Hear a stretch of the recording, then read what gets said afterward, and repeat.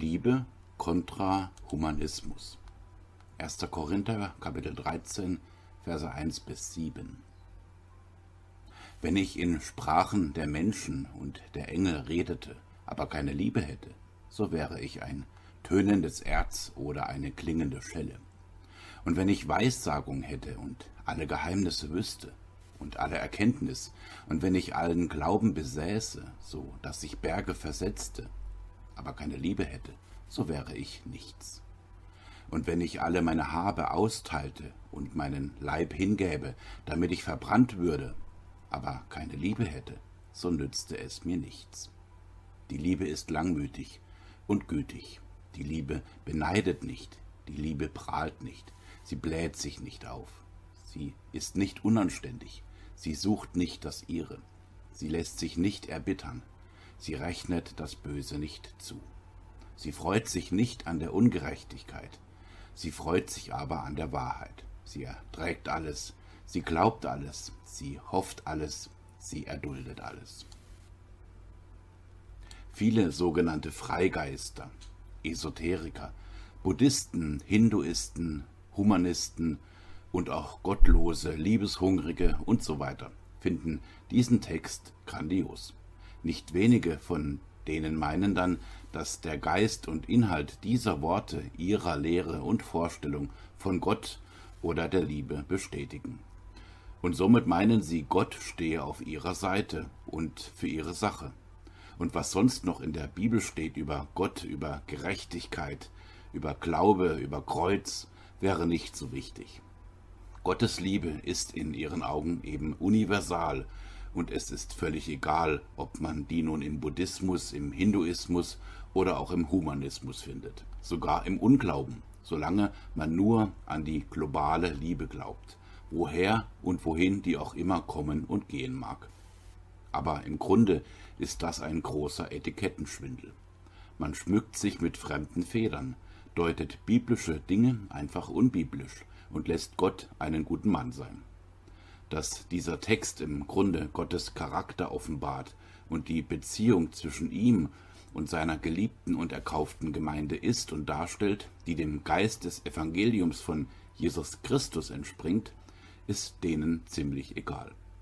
Es geht hier um Liebe, die mit einem menschlichen Humanismus nichts zu tun hat. Liebe, die sich geopfert hat, Liebe, die Mensch wurde, Liebe, die am Kreuz die Sünden getragen hat. Durch das Blut Jesu Christi. Und das passt dem Humanismus überhaupt nicht. Es ist eine göttliche Liebe, die einem geistlich von neuem geborenen Gläubigen zeigt, was Gnade und Vergebung sowie Annahme und Ehre und eben auch das Blut und das Kreuz in der Nachfolge bedeuten. Jemand, der mit Jesus und Bibel nichts am Hut hat, wird so etwas eher zum Anstoß als zur Motivation werden dem Hohelied der Liebe, geht die Erklärung des Paulus über die Gaben des Geistes voraus. Kapitel 12. Und dass dieser Geist für Einheit, Kreativität, für Aufgabenverteilung innerhalb der Gemeinde, für Berufungen, für Zusammenhalt, Ergänzungen, Wirkung und Fürsorge steht. Zudem geht es auch um Ehre in den vielfältigen Bereichen des Dienens, nämlich Gottesehre, und dass scheinbar kleine Aufgaben nicht selten wichtiger und entscheidender sind als offensichtlich große Dinge, die man im Gegensatz zu den kleinen Diensten nicht übersieht. Im Kapitel 13 des ersten Korintherbriefes zeigt uns der Apostel Paulus nun, mit welcher Kraft und Einstellung, also mit welcher Herzenseinstellung und Motivation ich das als Kind Gottes alles mit Inhalt ausfüllen soll, nämlich mit Liebe. Und man kann nichts Richtiges besser und treffender machen, egal was es ist, als mit Liebe. Der Bezug zu Gott macht die Liebe hier erst zur Liebe und Gott selbst zur Liebe in Person. Fragen wir uns, warum ist neben Glaube und Hoffnung die Liebe das Größte? Weil Gott Liebe ist, in 1. Johannes 4,8 steht, wer nicht liebt, der hat Gott nicht erkannt, denn Gott ist Liebe. Liebe, die untätig ist und nur in sich selbst ruht, würde den Sinn ihrer Existenz verlieren. Sie wäre nur ein Gefäß ohne Inhalt.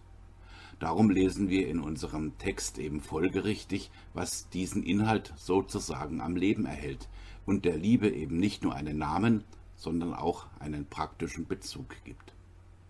Gott ist darum die Liebe, weil er nicht nur das Richtige macht, sondern weil er es mit Liebe macht. Gott ist nicht pragmatisch, sondern in ihm ist die Fülle und die Macht und der Wille, uns das Beste zu geben. Bewiesen hat Gott das durch seine Menschwerdung und dass er durch den geliebten Sohn unsere Sündenschuld ans Kreuz getragen hat. In Johannes 15, Vers 13 steht, Keiner hat mehr Liebe, als dass er sein Leben für seine Freunde lässt. Mehr Praxis geht nicht. Liebe ist stark wie der Tod und überwindet ihn sogar. Gott kommt es nun tatsächlich auf unsere Einstellung an, nämlich warum wir etwas tun oder auch nicht, und nicht auf fromme Handlungen. Christ zu sein ist kein Job, sondern eine Lebenseinstellung. Sogar ein Glaube, der Berge versetzen könnte, wäre sinn- und zwecklos ohne diese ausschlaggebende Einstellung der Liebe. Wie kann man das nun genauer verstehen? Ist es denn nicht der Glaube, den Gott fordert? Heißt es nicht in Hebräer 11, 6, dass wir Gott ohne Glauben nicht gefallen können? Ja, stimmt. Aber der Glaube ist eben mehr als nur ein zweckmäßiges Fürwahrhalten, mehr als etwas nur zu akzeptieren. Es ist Ausdruck einer von Liebe und Wahrheit getragenen ewigen Beziehung. Also alles andere als ein vom Humanismus geprägtes temporäres Gefühl mit begrenzter Haltbarkeit und jenseits jeder Erlösung. Durch die Liebe wird der Glaube erst zum Glauben. Glauben bedeutet so viel wie liebevolles Vertrauen, nicht weniger. Glaube ohne Liebe wäre dann tatsächlich wie ein tönendes Erz und eine klingende Schelle. Amen.